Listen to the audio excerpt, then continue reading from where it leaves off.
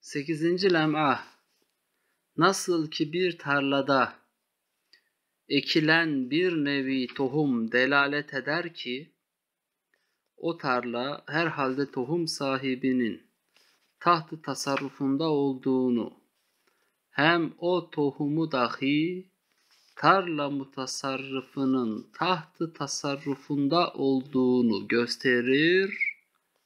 Öyle de şu anasır denilen mezrai masnuat, vahidiyet ve besatet ile beraber külliyet ve ihataları ve şu mahlukat denilen semerat rahmet ve mucizat kudret ve kelamat hikmet olan nebatat ve hayvanat, mümaselet ve müşabehetleri ile beraber çok yerlerde intişarı, her tarafta bulunup tavattunları, tek bir sani muciz nümanın tahtı tasarrufunda olduklarını öyle bir tarzda gösteriyor ki, güya her bir çiçek, her bir semere, her bir hayvan, o saniyin birer sikkesidir,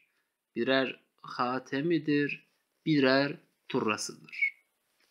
Her nerede bulunsa lisanı hali ile her birisi der ki ben kimin sikkesiyim bu yer dahi onun masnuğudur. Ben kimin hatemiyim bu mekan dahi onun mektubudur. Ben kimin turrasıyım, bu vatanım dahi onun mensucudur. Demek en etna bir mahluka rububiyet, bütün anasırı kabzayı tasarrufunda tutana mahsustur ve en basit bir hayvanı tedbir ve tedvir etmek, bütün hayvanatı, nebatatı, masnuatı, kabzayı rububiyetinde terbiye edene has olduğunu kör olmayan görür.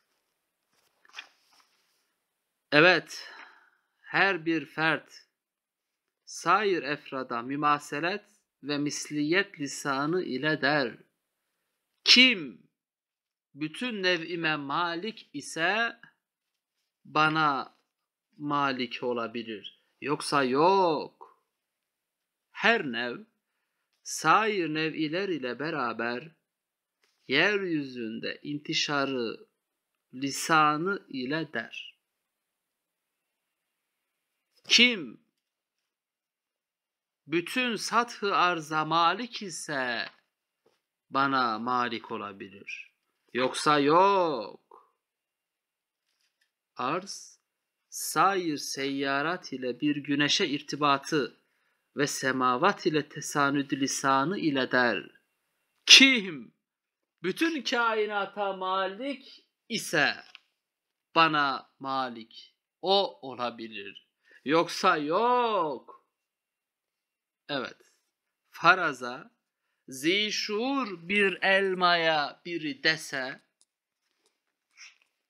sen benim sanatımsın. O elma lisanı hal ile ona sus diyecek. Eğer bütün yeryüzünde bütün elmaların teşkiline muktedir olabilir isen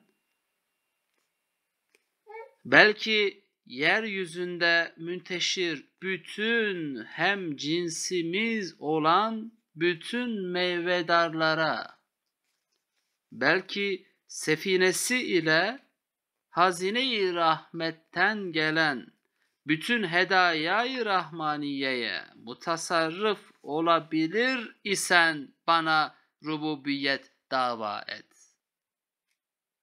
O elma böyle diyecek ve o ahmağın ağzına bir tokat vuracak.